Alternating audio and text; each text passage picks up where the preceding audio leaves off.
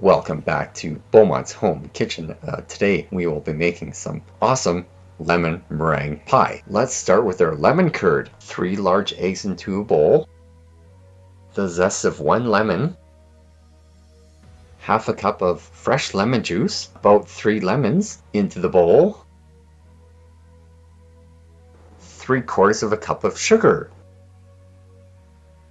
We are going to turn on our double boiler easier so the eggs won't scramble. Even temperature. Mix our eggs until they become somewhat shiny. That was mixing for about a couple minutes.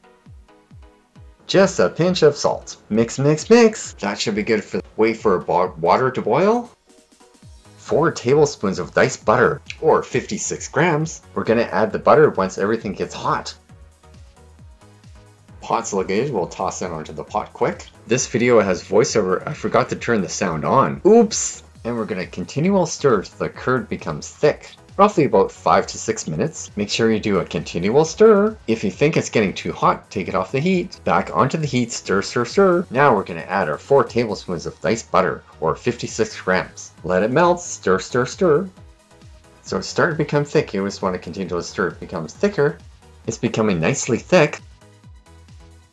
We're going to preheat the oven 375 for a pie shell. The best way to cool the curd down is in an iced water bath or a cold water bath. You can also cool in the fridge for about an hour. You don't want it to set too much because you still want to get into the, the pie shell. Take a fork and poke a few holes into the pie shell before you bake it. If you stir, it'll cool down quicker. And don't be afraid to make lemon meringue pie. It's actually quite easy. It's not too hard. I show you each step. Very important to wash your bowl with warm soapy water for the meringue. Let's taste the lemon curd, mmm, yummy good. Time to toss our pie shell in for 12 to 15 minutes till nicely golden brown.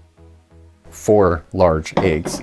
Four large egg whites or 132 grams. They got five, just in case, but I'm thinking four. Kitchen hack. You want to get room temperature eggs that you just pulled out of the fridge? Give them, give them a warm bath for five minutes. Then they become room temperature eggs. Very simple. Quickest way to get room temperature eggs without leaving at room temperature for 30 minutes to an hour. So little hack for everyone there. Slowly separate some eggs. Be careful not to get any yolks in there. Whites in there. So 132 grams of whites. What do we got? Ooh, he's close. Okay. One more egg. Figured I might need another one. okay, that ain't gonna work. I broke one. Ouch. It's the first time I broke on a yolk in Beaumont's kitchen. It's not bad odds. Promise I to kill this one. All right. That one didn't break. Yay! 132 grams. 132 grams of egg whites into the mixer. Half a teaspoon of cream or tartar. Just to stabilize the eggs as so they do what they're supposed to do a thermometer, turn the fire on, 113 grams of water into the pot, three quarters of a cup of sugar. Just stir a little bit till the sugar dissolves a bit. So once the sugar heats up, it'll dissolve, and then, so roughly when the temperature hits about 200 degrees Fahrenheit, turn on our mixer. It's getting up there. It's close. I'm gonna wait until we get our eggs nice and frothy here. Pretty much when the sugar hits 200, you turn your mixer on. Oh, sorry, we're looking at 240. All right. The sugar hits 240. Okay. Oh yeah, eggs are looking pretty frothy. Perfect. Make sure that sugar's hot. Okay.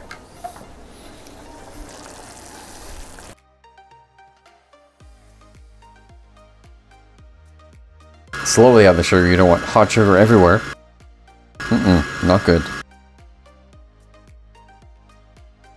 pretty much what you want to do is whip the eggs until they become room temperature. So it takes, I don't know, 10 or 8 to 10 minutes.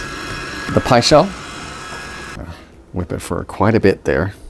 Our lemon curd is cooled off, so I'll toss our lemon curd into pie shell. Pie shell is cold too.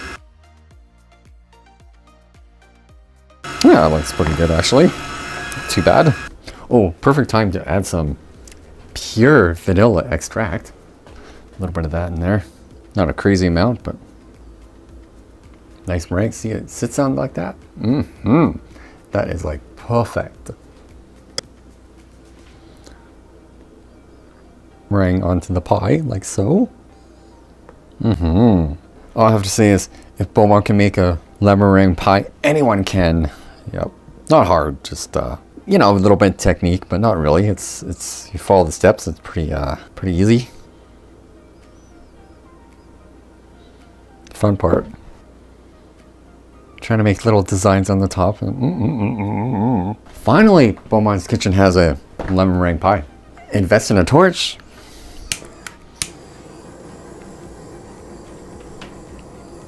Burn the fun part, okay.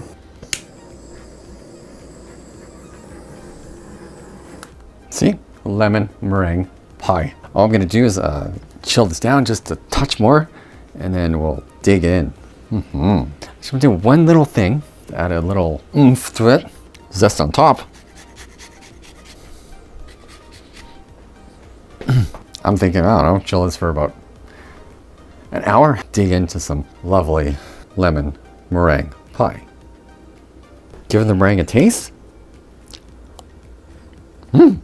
Let's give our lemon meringue pie a try. Let's give our lemon meringue pie a try. Mmm. Mmm. Awesome lemon meringue pie. Mmm. Lemon meringue pie. Thanks for watching Beaumont's Kitchen. Don't forget to like, subscribe, share. Love you. And we'll see you again soon. Thanks for watching.